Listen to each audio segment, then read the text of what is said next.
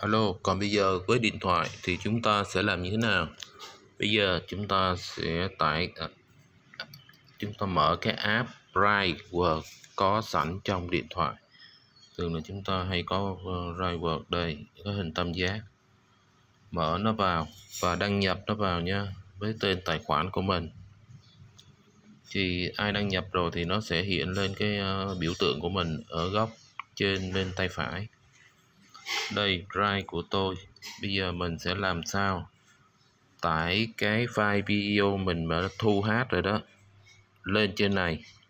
Bằng cách là thêm dấu cộng ngó dấu cộng ở bên góc phải bên dưới, màu xanh, bấm vào. Nó sẽ kêu mình tải lên ở nút giữa nè. Tải lên.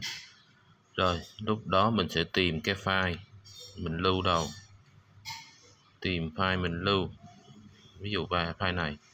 Rồi, nó sẽ tự động tải lên thôi. Rồi, sau khi tải xong, thì mình mới kiếm. Đây. Mình kiếm nó, đây là tải mình vừa mới tải lên. Bấm vào cái dấu ba chấm. À Vâng, bao nhiêu bấm vào ba chấm. Rồi bấm vào dòng thứ hai là quản lý mọi người và đường liên kết thay đổi. À, nó bị hạn chế cho nên mình phải thay đổi.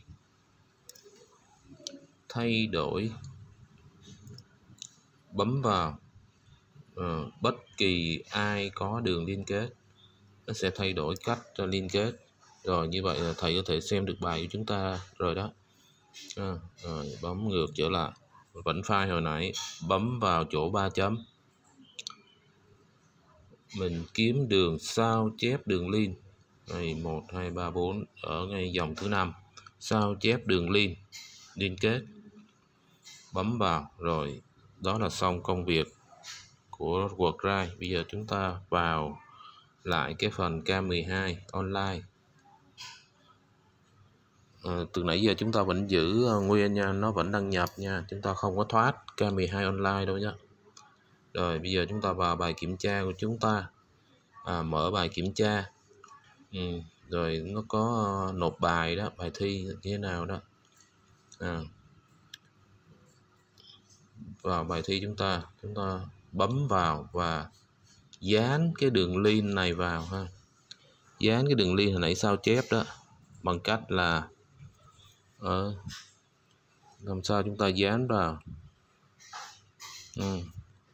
bấm giữ lâu và uh, dán vào sau đó chúng ta nộp bài như thế này bấm nộp bài ở góc trên bên tay phải ha.